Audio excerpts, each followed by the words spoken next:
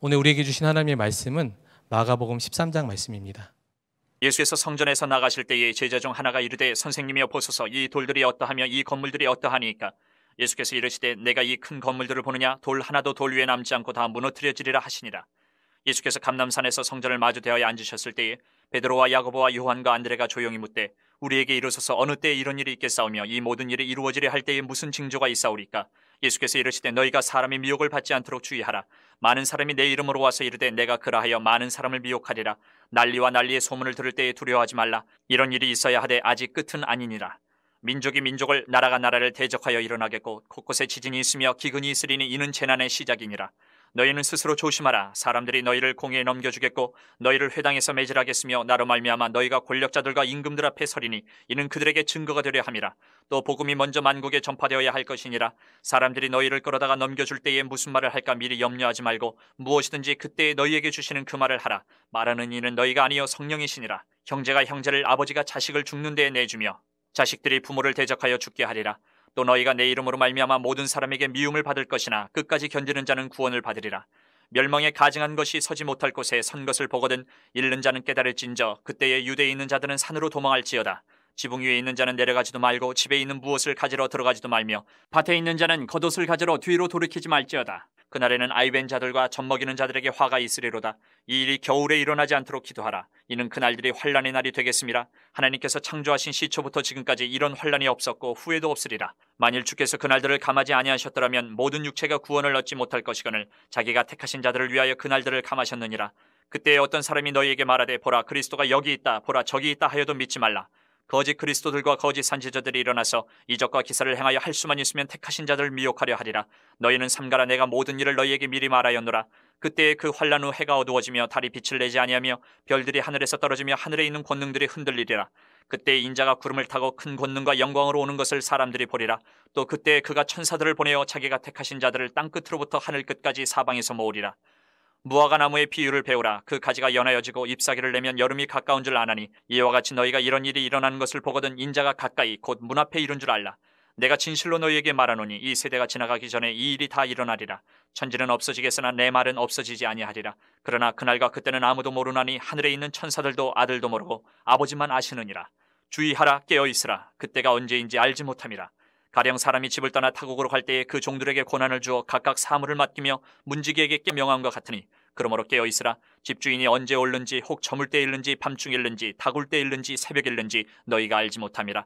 그가 호련히 와서 너희가 자는 것을 보지 않도록 하라. 깨어 있으라. 내가 너희에게 하는 이 말은 모든 사람에게 하는 말이니라 하시니라. 아멘. 하나님의 말씀입니다. 마가복음 13장은 예수님께서 고난 주간 화요일에 제자들에게 하신 마지막 고별 설교이십니다. 이 설교를 통해서 마지막에 임할 심판과 환란이 어떠한지를 말씀하고 계십니다. 그래서 마가복음 13장을 소목시록이라고 부르기도 합니다. 예수님께서 종교 지도자들과 논쟁을 하신 후에 성전을 나오시는데 한 제자가 성전의 그 웅장함과 화려함을 보고서 놀라서 이렇게 예수님께 말씀했습니다. 세 번역으로 1절 말씀 후반절을 보면 선생님 보십시오. 얼마나 굉장한 돌입니까? 얼마나 굉장한 건물들입니까? 예수님은 이렇게 감탄하는 제자를 향해서 이렇게 이절에 말씀하셨습니다. 예수께서 이르시되 내가 이 큰 건물들을 보느냐 돌 하나도 돌 위에 남지 않고 다 무너뜨려지리라 하시니라. 웅장하고 화려한 이 성전 이스라엘 민족의 신앙의 핵심 가운데 핵심이었던 이 성전이 허물어질 것이다. 무너질 것이라고 예수님은 예언하셨습니다. 그리고 예수님이 말씀하신 그대로 AD 70년에 로마 티투스 어, 장군에 의해서 예루살렘 성전이 돌 하나 남지 않고 완전히 허물어지고 파괴되었습니다. 그러나 예수님이 말씀하신 것은 단순히 성전이 파괴되는 정도가 아니었습니다. 이 땅에 임할 완전한 심판과 종말을 예수님께서 말씀하신 것입니다. 베드로와 야고보와, 야고보와 요한의 관심은 그 시기와 그 징조에 관한 것이었습니다. 이것이 보통 사람들의 관심입니다. 그래서 이단들은 종말의 때가 이때 온다, 저때 온다라고 하면서 사람들을 미혹하기도 합니다. 그러나 그날과 그때를 아시는 분은 오직 하나님 뿐이십니다. 예수님이 이 말씀을 하신 이유는 그때를 알려주기 위함이 아니었습니다. 그 핵심은 따로 있었습니다. 영원한 심판과 멸망이 반드시 온다라는 것이고 또 하나는 깨어 그날을 준비해야 된다고 이것을 말씀하시기 위해서 제자들에게 이 이야기를 하시는 것입니다. 33절에 주의하라 깨어 있으라 그때가 언제인지 알지 못함이라 주의하라 깨어 있으라 이것이 예수님께서 우리에게 하신 말씀이신 겁니다.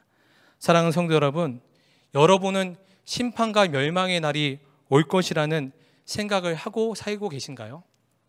그날이 오늘 당장이라도 임할 수 있음을 생각하면서 그것을 기억하고 사시고 계시나요? 그런 성도가 영적으로 깨어 있는 성도입니다. 그러나 많은 성도들이 예수님의 이 말씀을 가벼이 여깁니다. 마치 마지막이 없는 것처럼 살아가는 이들이 너무나 많습니다. 왜 우리는 마지막 때를 위해 깨어 준비해야 되나요? 마지막 때이말 핍박과 미혹이 거세기 때문입니다. 22절 말씀 보니까 거짓 그리스도들과 거짓 선지자들이 일어나서 이적과 기사를 행하여 할 수만 있으면 택하신 자들을 미혹하려 하리라. 할 수만 있으면 택하신 자들을 미혹하려 하리라. 적당히 믿고 적당히 신앙생활하면 언제라도 우리는 악한 자들의 먹잇감이 될 수 있음을 우리는 기억해야 됩니다. 예수님은 마지막 때에 당할 닥칠 일들을 말씀하셨습니다. 영적인 미혹이 하나이고 또 박해와 고난이 또 다른 하나라고 말씀하셨습니다. 영적인 미혹에 대해서는 미혹을 받지 않도록 주의하라라고 말씀하셨고 박해와 고난에 대해서는 두려워하지 말라라고 예수님 말씀하셨습니다. 마지막 때에 이말 어, 특징 가운데 하나가 먼저는 영적인 미혹입니다. 6절 21절 보니까 많은 사람이 내 이름으로 와서 이르되 내가 그러하여 많은 사람을 미혹하리라. 21절 그때 어떤 사람이 너에게 말하되 보라 그리스도가 여기 있다. 보라 저기 있다 하여도 믿지 말라. 이것이 마지막에 우리에게 임할 영적인 미혹입니다. 여러분 한국 땅에 하나님이 몇 명 되시는지 몇 명 있는지 아시나요? 20여 명쯤 된다고 합니다.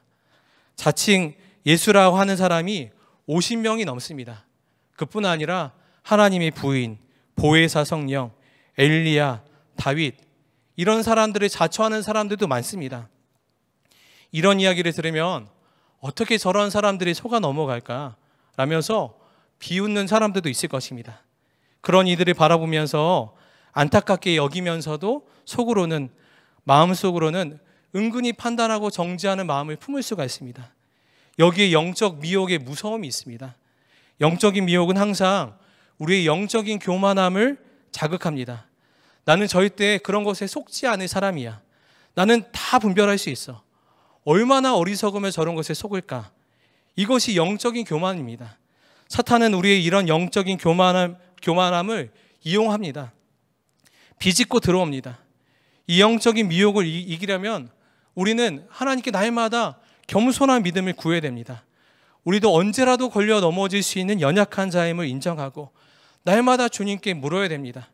목회자들에게 영적인 분별을 요청하셔야 됩니다. 그리고 주변 동역자들의 조언에도 귀를 기울일 수 있어야 됩니다. 실제로 사입이나 이단에 빠진 이들을 보면 다른 사람들보다 부족한 사람들이 아닙니다. 지극히 일반적이고 정상적인 사람들입니다. 어떻게 그들이 그런 이단과 사이비에 빠졌는지 그 어떤 것으로도 설명하기 어렵습니다. 그만큼 영적인 미혹이 무섭다라는 것입니다.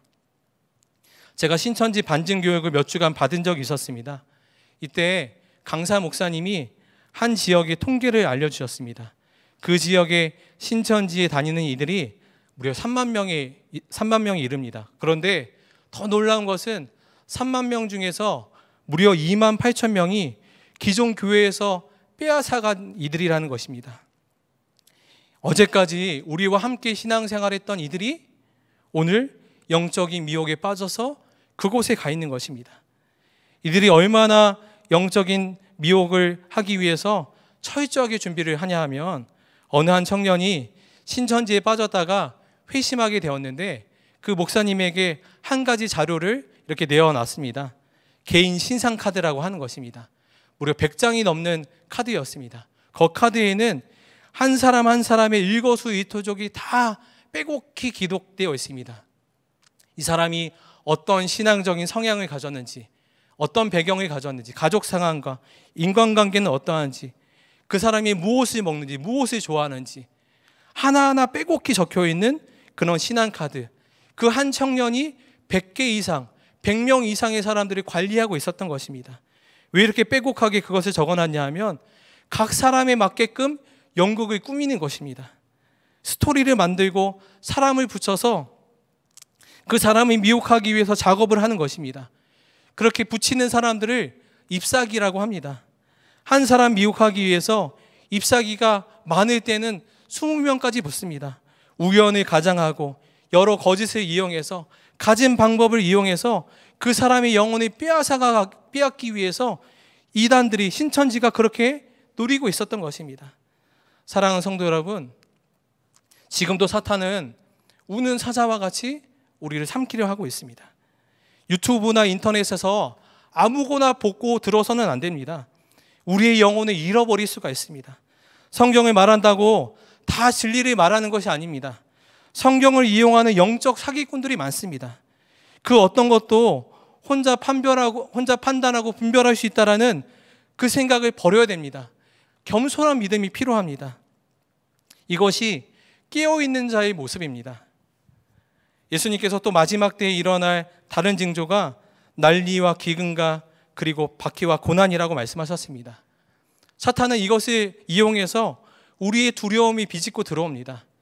예수님 때문에 고난당하고 핍박당하는 일들이 많은데 더 고통스러운 것은 그 박해와 고난이 가족들에게 온다라는 것이고 그것이 어느 정도인지 19절에 보니까 이는 그날들이 환란의 날이 되겠습니다. 하나님께서 창조하신 시초부터 지금까지 이런 환란이 없었고 후에도 없으리라. 하나님이 창조하신 시초부터 지금까지 이런 환란이 없었다. 후에도 없을 정도다. 그만큼 참혹하고 비참한 그런 환란과 고통이 우리에게 닥치게 될 것이다라고 예수님께서는 말씀하고 계십니다. 여러분 이런 이야기를 들으시면 어떤 마음이 드시나요? 아마 두렵고 떨리는 마음이 드시는 분들이 있을 것입니다. 여러분 이런 환란이 임해도 끝까지 예수님의 이름을 부인하지 않을 준비가 여러분들 되어 있으신가요?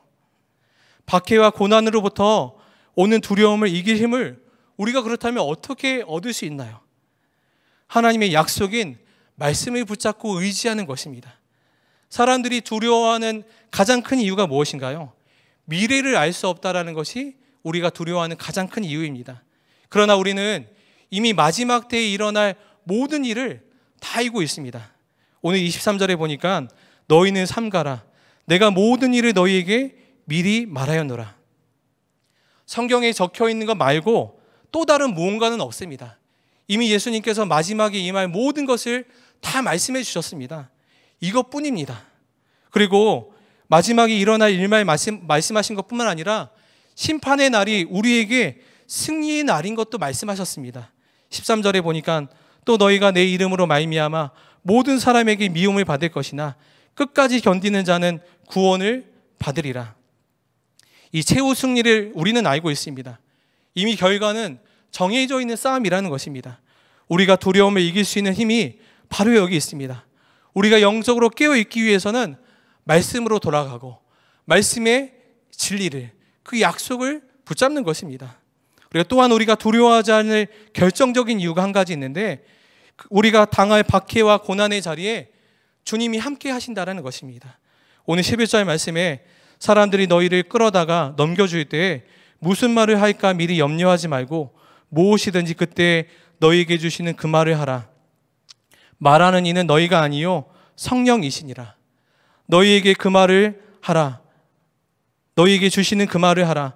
말하는 이는 너희가 아니요 성령이시라.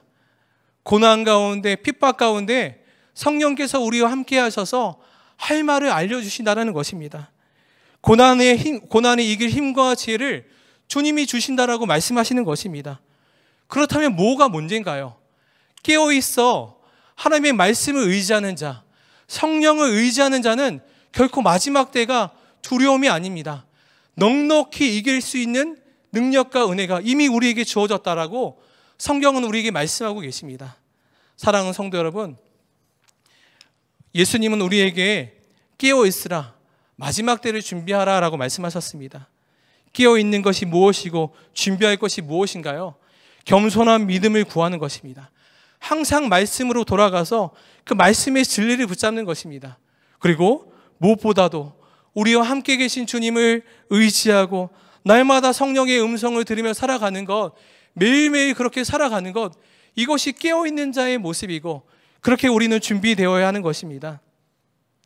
그러면 우리 안은 주님께서 깨닫게 하시고, 분별하게 하시고, 견딜 힘을 주시는 것을 경험하게 될 것입니다. 중요한 것은 그 일을 결코 늦춰서는 안 되는 것입니다. 오늘 말씀의 마지막 때에 일어날 일들, 거짓 그리스도의 출현, 전쟁, 지진, 기근, 박해, 고난, 여러분들 이 모든 것이 이미 일어나고 있는 것입니다. 이 모든 것은 초대교회 당시에도 있었고 지금도 일어나고 있는 것입니다. 다시 말해서 지금 우리는 예수님이 말씀하신 마지막 때를 살고 있는 것입니다.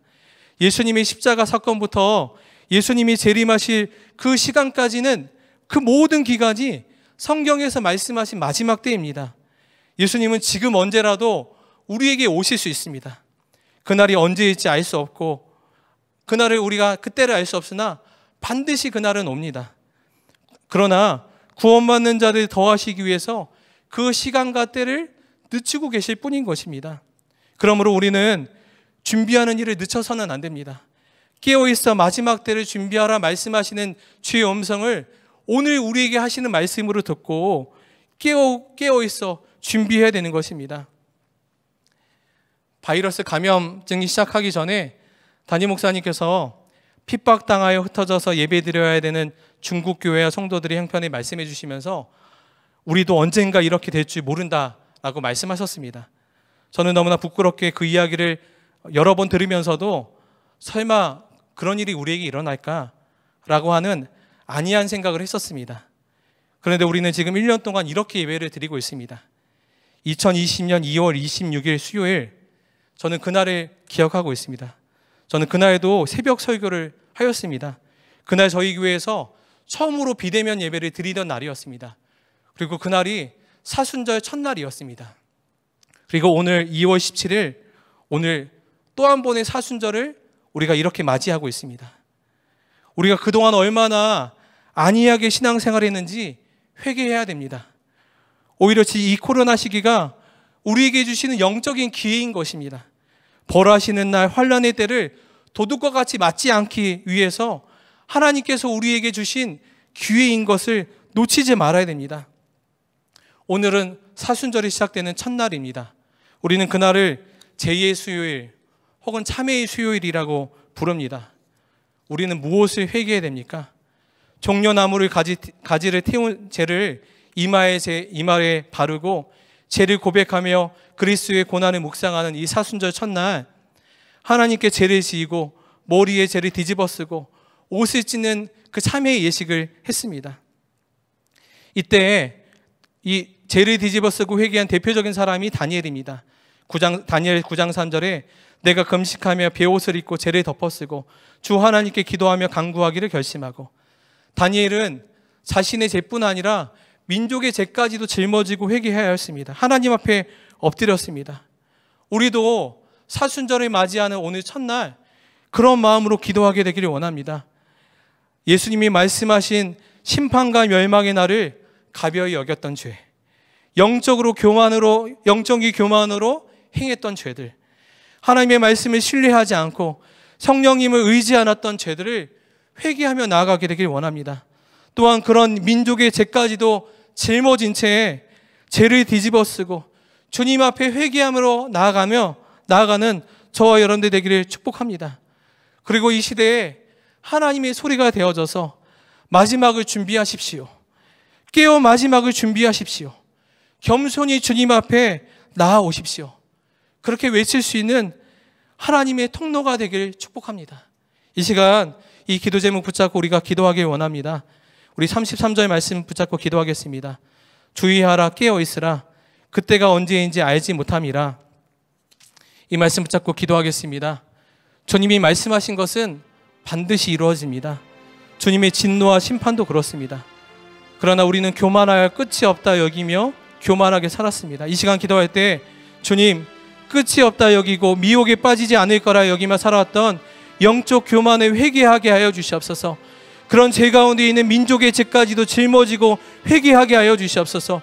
이 땅에 하나님의 심판과 진노를 선포하는 선지자의 사명을 감당케 하여 주시옵소서. 기도 제목 붙잡고 기도하겠습니다. 사랑하는 주님, 하나님 이 시간 우리의 죄들을 회개합니다.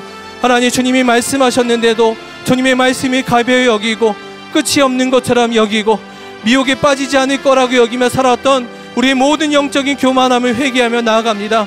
하나님, 우리의 모든 연약한 것들을 주님께 내어드립니다. 하나님, 우리를 불쌍히 여겨주소서.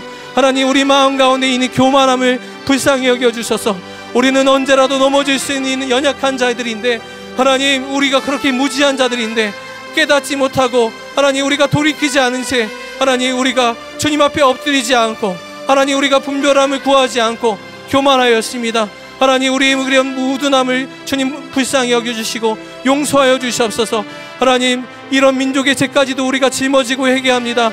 하나님 이 민족을 불쌍히 여겨 주소서. 주님 앞에 교만한 자 교만한 이 민족을 불쌍히 여겨 주소서.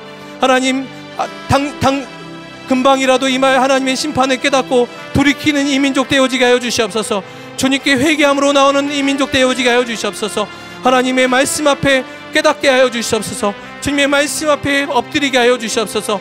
이 땅에 말 하나님의 심판과 진노를 우리가 선포하는 하나님의 복된 통로가 되게 하여 주시옵소서. 선지자의 사명을 감당하게 하여 주옵소서. 마지막 때를 준비하라. 깨어 준비하라. 그렇게 외치는 자의 소리가 되게 하여 주시기를 원합니다. 하나님, 우리가 그렇게 살기를 원합니다. 하나님, 우리가 외치는 자의 사명을 감당하게 되길 원합니다. 주님 역사하여 주시옵소서. 우리 11절 말씀 붙잡고 기도하고 계속 기도의 자리로 나가겠습니다. 사람들이 너희를 끌어다가 넘겨줄 때에 무슨 말을 할까 미리 염려하지 말고 무엇이든지 그때 너에게 주시는 그 말을 하라. 말하는 이는 너희가 아니요 성령이시니라. 마지막 때에 우리에게 닥칠 박해와 고난이 심하지만 두려워할 것이 없습니다. 깨어 있는 자, 준비한 자, 믿는 자들에겐 두려움이 없습니다. 주 안에 있는 사람은 그 일을 감당할 넉넉히 감당할 힘과 지혜를 주십니다. 이 시간 기도할 때 주님 두려워하지 않고 마지막 때를 준비하며 날마다 깨어 있게 하여 주시옵소서. 항상 하나님의 말씀으로 돌아가는 믿음을 허락하여 주시옵소서.